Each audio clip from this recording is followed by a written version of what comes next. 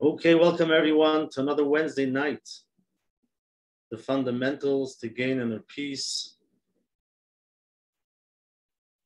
Last week, I gave a sneak peek of what we're going to discuss tonight about setting our intention, the power of intentions. But before we get started, I would like to do some relaxation coming into the room just making sure that we're all here and um, settle down of wherever you're coming from. Get grounded. Take a deep breath and become aware of where you are physically, the room that you're sitting in, or if you're listening to the recording, you might be driving your car. Um, keep your eyes on the road and to become aware of how you feel inwards, inside, emotionally. How was your day? Whether it's positive, negative, whatever it is, just to become aware and let it come up. And thank yourself for giving yourself some time, taking some time off from a busy day Many people wanted to be here tonight, but they're too busy. And there's a lot to do. And many people are just too busy to stop and take some time off. And we do live in a world with a constant rush. There's so much going on. We're always so busy. And the important things we don't get to take care of, like ourselves. So thank yourself for taking some for taking some time off, allowing yourself to be here tonight, for giving yourself permission to stop and um, to say I'm okay, even though I stopped. Even though I'm sitting in one place, take a deep breath, and your mind says there's so much to do. Why are you here? There's so much you have to take care of. I'm aware of that too and take some time off to slow down and sometimes to get into the alpha state, which we've discussed before, to really relax. And yes, many people, when they relax, they fall asleep because they're overtired. But to, to, to come in a place to be able to go to a relaxed state and be up, be able to sit there, relaxed, and not fall asleep with practice, you can get there. And that's what we're looking for. So last week, we discussed the emotional home of understanding that the same way a person has habits, the things that you're used to doing every day, what you do when you wake up, your routine, and the way we think is probably the same almost every day that's who you are that's what you do and it's it becomes a habit. The same thing is with our emotions. Our emotions also you know we're used to feeling certain ways for, for whatever reason. So we call it a, an emotional home. Becoming aware of what's your emotional home. Where do you find yourself when when you do want to become aware and when you're busy, you're probably not thinking much. But when you do stop and you become aware of how you feel, the majority of the day, how do you feel? What's that emotional home? What, what's the habit that pulls you there? Whether it's sad, could be bored, maybe anger, could be chaos. You find yourself whenever you just stop and become aware of what's going on. There's so much going on in your life, or maybe positive. You realize you always feel great, uplifting. You feel could be positive, whatever it is, negative, positive, but we all have an emotional home. That that place where we're used to going, and that's where we end up. Now, the same way a house, if you live, even if the place you live might not be Might not be the best place, you might not like it, you might go away for a few hours, but at the end of the day, you come home because home is home. The same thing is with our emotions. We, we might try to work, we sit here on Wednesday night to learn positive emotions, try to see what's positive in our life. We're working on it, but we find ourselves going back into that negative emotions or whatever it is to that emotional home. So it's important to become aware of what it is. Another way to see where is our emotional home is to see how do I feel when I'm under stress? And where does my thoughts take me? Do I lose it? Do I always feel the same way? Do I think it's it? I think the worst case scenario. And usually it takes us to the same place. If, if example, you think worst case scenario, it's, you're probably doing it for, for a while now, for many years. And to change it, it's going to take time. Same way it takes time to change a, a habit, any habit. Just to change a habit is very hard. Something that you're used to doing for many years and you want to change it, you have to do small steps. And the example that I give many times is start doing things different, even if they're very small and you might think it's not important. For example, if on the way home from work, you usually take a right turn, make a left turn. You might have to go around the block, but it just makes you conscious and it changes. You're doing some change and it's very small, but we're looking to do a little bit of change. And you can start with brushing your teeth. If you do it with your right hand, start doing with the left hand. See how it goes. But you'll become aware of thinking, why am I doing this? What am I doing? It wakes you up a little bit. And that's how change starts, just to start slowly. The same way we're going to start doing changing habits of our emotion. If we're used to, for many years, falling into that negative feeling, negative emotions when we're under stress, we could change it and slowly build our positives and to find ourselves in a better place. And yes, it will take time, but the awareness and to work on it is very important. So that was last week, learning about emo- our emotional home. This week, we're going to discuss the power of setting an intention. So, like I mentioned the end of last week, this comes from Dr. Joe Dispenza. And he was teaching a class of a few hundred people. And he asked them all, who believes that thoughts, that your thoughts create your reality? And for all of those that are in this world um, of self development, and if you're with us for a few weeks now, we become aware that the way we think is the way we feel. And that's what we do. Basically, I would say a line which a lot of people don't like to hear. Your life looks exactly the way you think it should. Some people are not happy where they where they're sitting, what what what it looks like their life. They're not happy about it. And when I tell them that, they're like, "No, this is not where I want to be. I would love to make more money. I would love to have different relationship. I would love to um, live somewhere else, whatever comes up. But there's something that's telling you not to. And that's sometimes subconscious.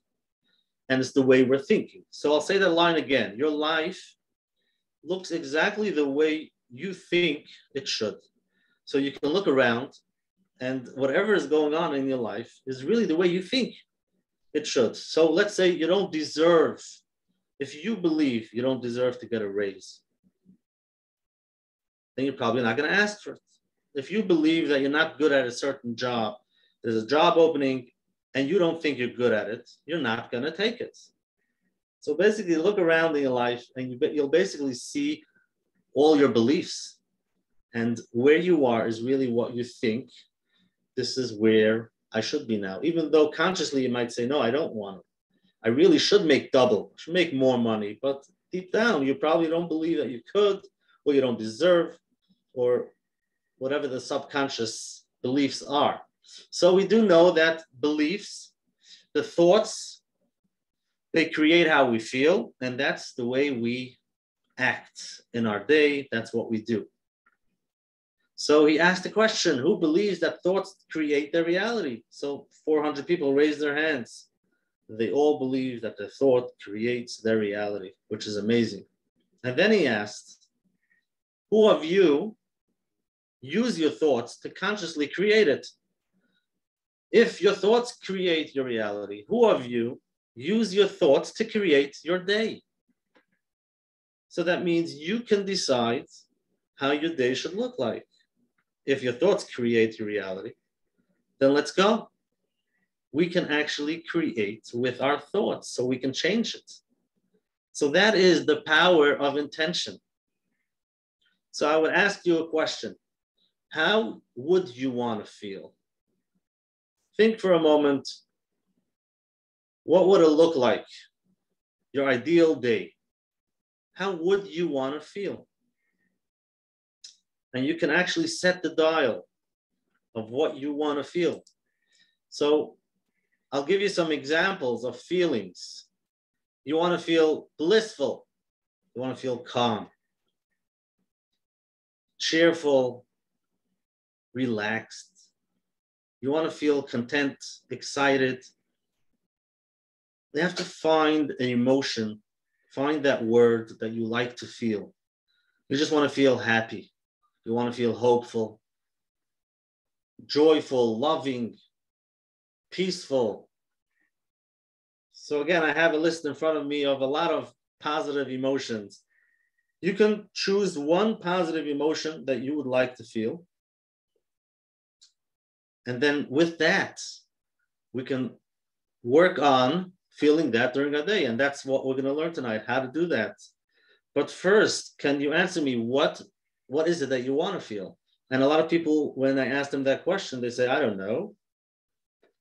And that's part of, you know, maybe they don't believe anything could change and uh, they're not in a good place. So they say, I don't know.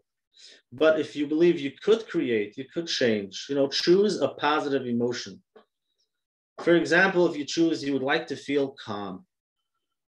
So you take an index card and write down the word calm and put it in your pockets.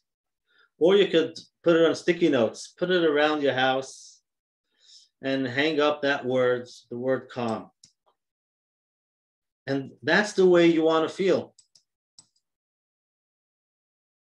And so what are you going to do? in the morning when you wake up, before you start your day, before you do anything, before you check your phone, you're going to set your intention. What is it? How do I want to feel today? And you come up with that word. Thank you for those who are sharing. You can share in the chat. You can put in the chat what word comes up for you that you want to feel.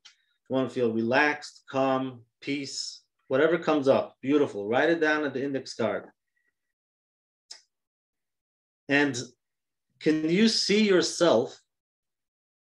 Let's walk through your day with that card, with that feeling. So you know your schedule, you know you have meetings, you have to go to work, you have to spend time with family, you have to, there's a lot of things going on.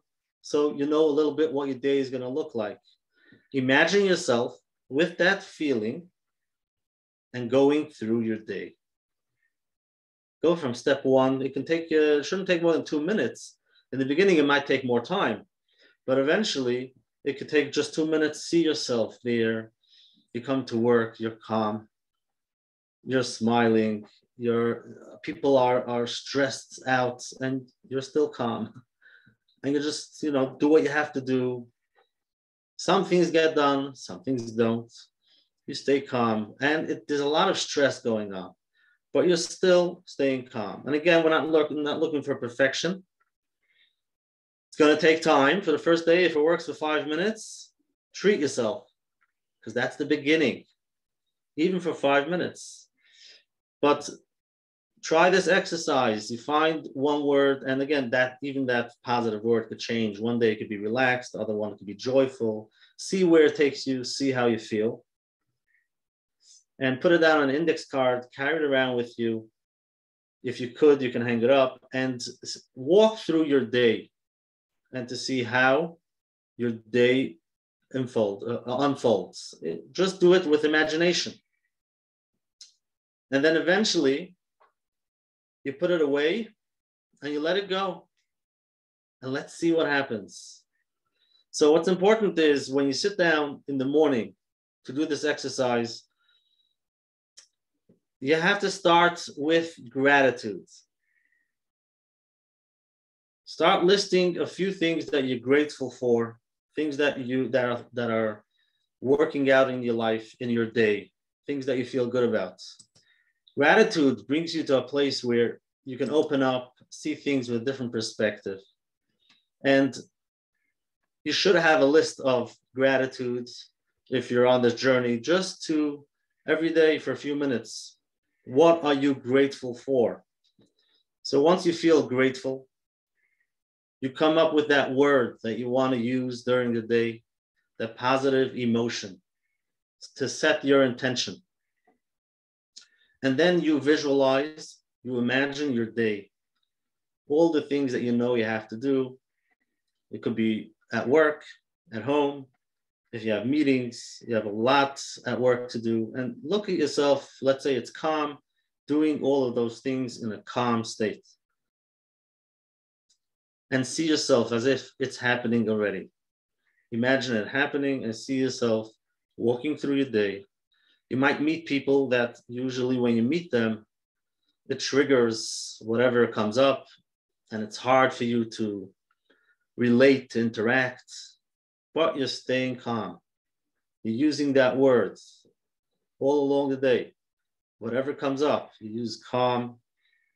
And then you say, Tefillah, Hashem, please help me. I should be able to walk through my day and be calm.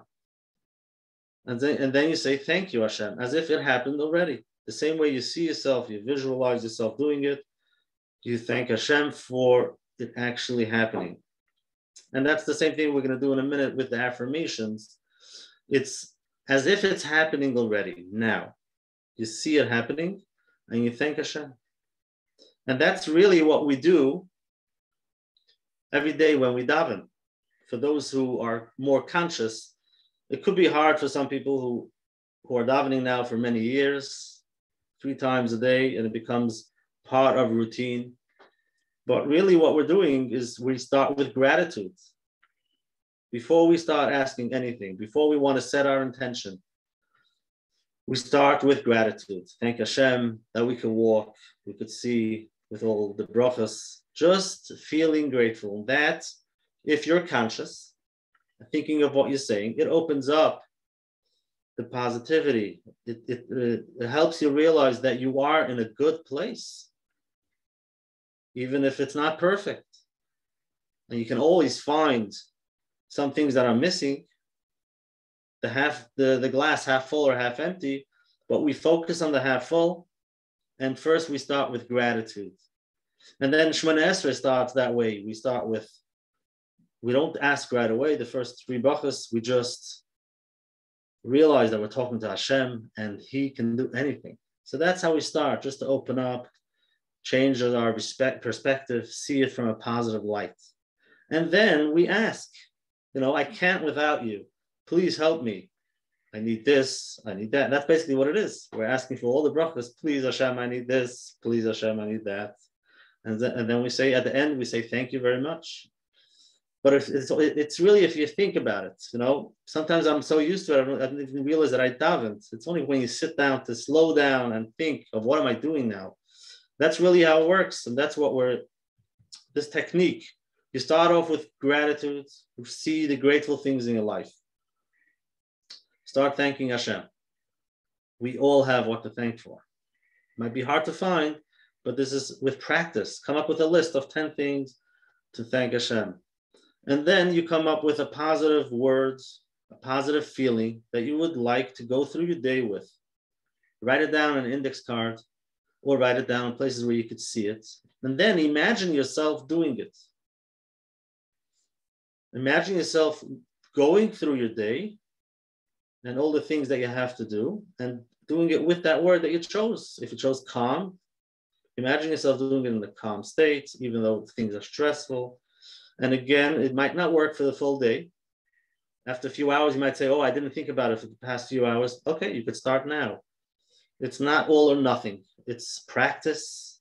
And even if you did it for five minutes, it's great. So that's the first thing in the morning when you get up. That's gratitude. Start off with gratitude. And then you come up with that positive emotion. See yourself. Walk through your day with that positive emotion. And then you say, Tefillah Hashem, please help it happen. And then you start your day. Let's see what happens. Let's do some experiments and let me know what happens. Let me know in the feedback. Just before we end, I just uh, this is very important to to realize why is it so important to actually see yourself actually doing it already. We've mentioned it before, but it's it's always important. Our brain doesn't really know the difference of something that's happening or you're imagining it. And they had studies that those who went skiing, they had races skiing, and in the summer, what they did was they laid in bed. They had a group. They had some people did this, some people did that. So they had a group of people laying in bed, imagining being on the skis in the on the mountain and going down the mountain all the way up and down with, with you know all the challenges and they did that for a while. And then they had other people that didn't do it. And they check to see if there's any difference from the imagination. And lo and behold, there makes a difference. For the mind, it doesn't really make a difference if it's actually happening or if it's something that you're imagining. And it's important because let's say you're worried about something and you're stressful, for your mind, it's actually happening. So your body feels it. it doesn't realize, wait, it's only a worry. It might not happen, but your body feels that stress already. And the same thing is with positive. If you imagine yourself going through your day with a calm state, taking things the way you know you should, trying to figure it out, and even though there's a lot of stress, if you imagine it, your mind actually sees you doing it. And now, when it actually happens during the day, it's used to it because you've, you've done it before. You've been there. So this is part of practice, part of how we get out of our emotional home. Every time you're under stress, you might be losing it and you can't think straight.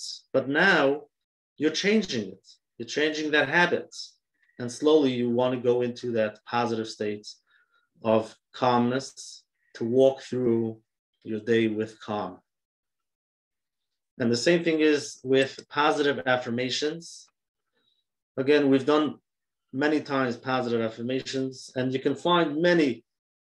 There are many out there, many different affirmations. Find the affirmation that works for you, that makes you feel good.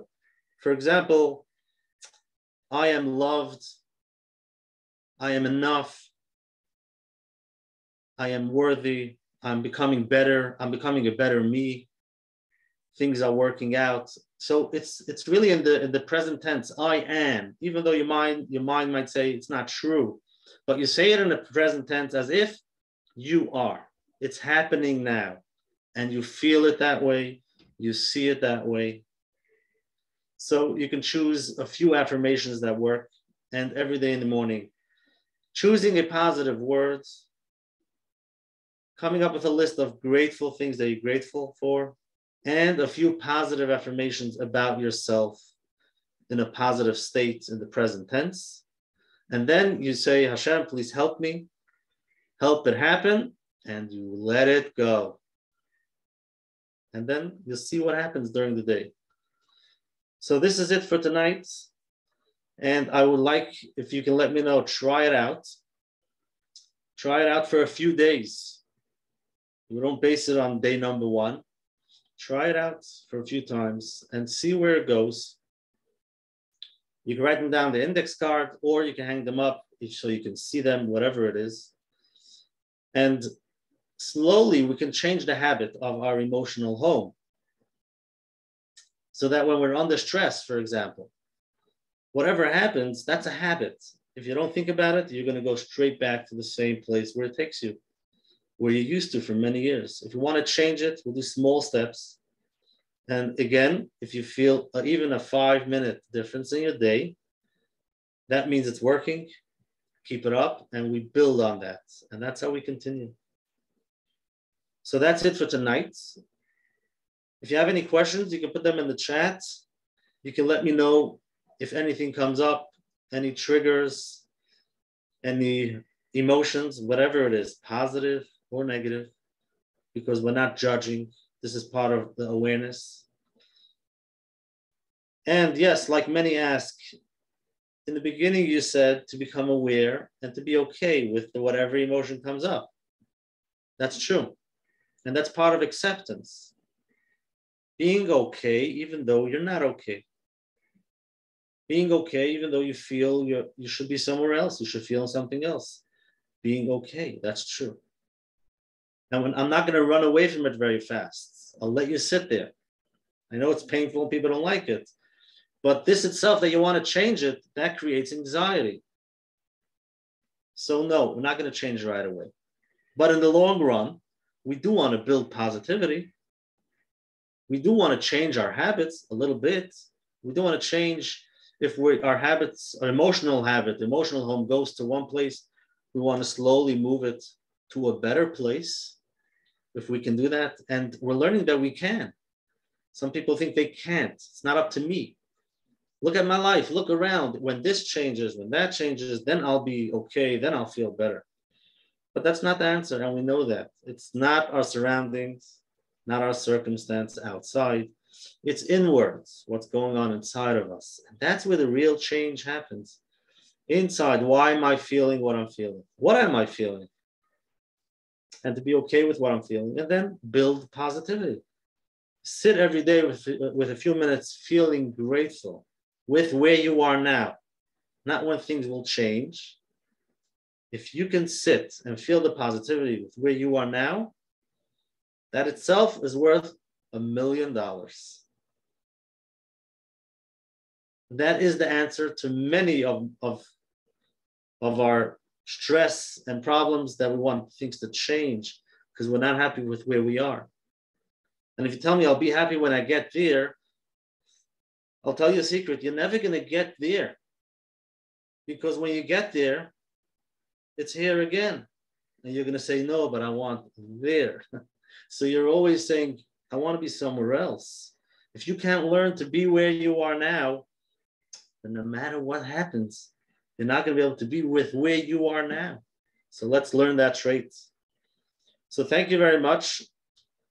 So use that, use the technique and create your day. Yes, with Hashem's help, you can create your day.